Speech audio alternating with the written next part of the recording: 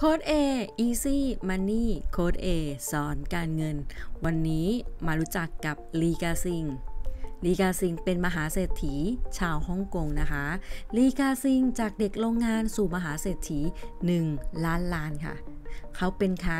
ลีกาซิงนะคะ ปัจจุบันเป็นมหาเศรษฐี ชาวฮ่องกงค่ะ มีชื่อเสียงโด่งดังและครองตำแหน่งมหาเศรษฐีอันดับต้นๆของทวีปเอเชียมาอย่างยาวนาน คุณลีกาซิงเขาคนนี้นะคะ เริ่มต้นจากศูนย์เลยค่ะ ก่อนก้าวขึ้นมาเป็นเจ้าของธุรกิจหลากหลายประเภท ไม่ว่าจะเป็นอสังหาริมทรัพย์ ท่าเรือขนส่ง สื่อสารโทรคมนาคม ร้านค้าปลีก หรือแม้กระทั่งแพลตฟอร์มออนไลน์ ความสำเร็จต่างๆ ที่ผ่านมาทำให้เขาได้รับฉายาว่าซูเปอร์แมนแห่งเกาะฮ่องกง และถูกยกย่องให้เป็นเหมือน Warren Buffett แห่งเอเชียเลยทีเดียวนะคะ เรื่องราวชีวิตของชายคนนี้น่าสนใจอย่างไร มาลองฟังกันค่ะ คุณลีกาซิงเป็นนักธุรกิจและนักลงทุนชาวฮ่องกง เกิดเมื่อปีคศ 1928 ปัจจุบันมีอายุ 94 ปี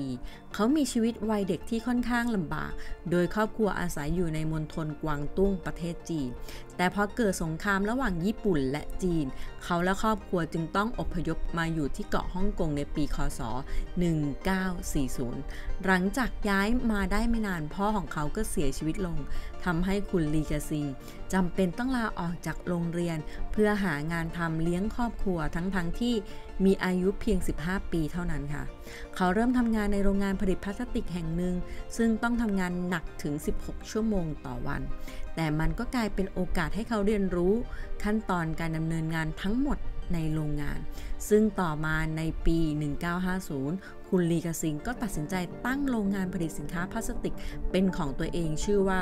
ชวงกงตอนแรกเขาเลือก ผลิตสินค้าของเล่นพลาสติก แต่ต่อมาได้เห็นข่าวความนิยมในดอกไม้พลาสติก ที่ประเทศอิตาลี จึงเปลี่ยนมาผลิตดอกไม้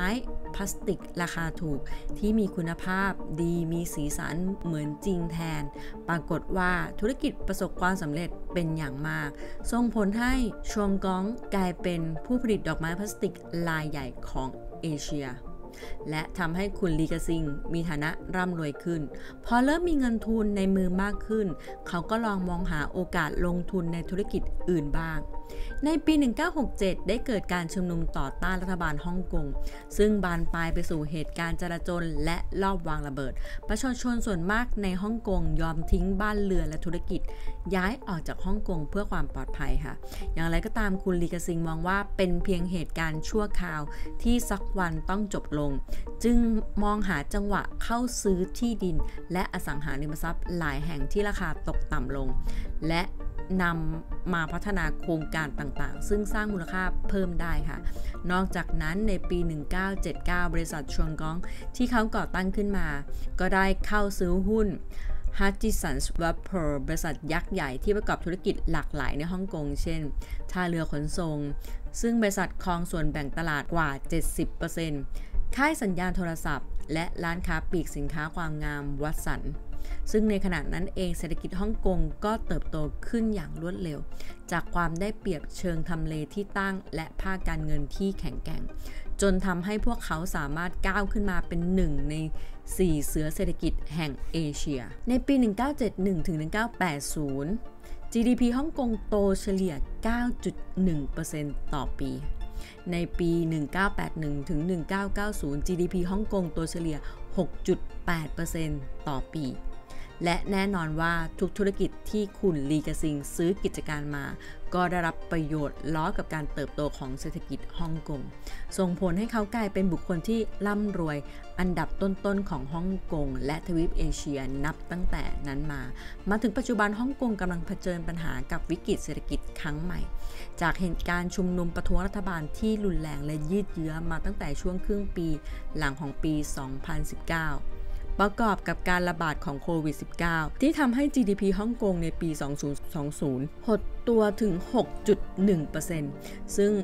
มีการประเมินว่าธุรกิจในฮ่องกงของคุณลีกาซิง ได้รับความเสียหายไปไม่ต่ำกว่า 90,000 ล้านบาท อย่างไรก็ตามเรื่องดังกล่าวอาจส่งผลกระทบแค่เพียงเล็กน้อย เพราะก่อนหน้านี้เขาได้กระจายการลงทุนไปอุตสาหกรรมเทคโนโลยี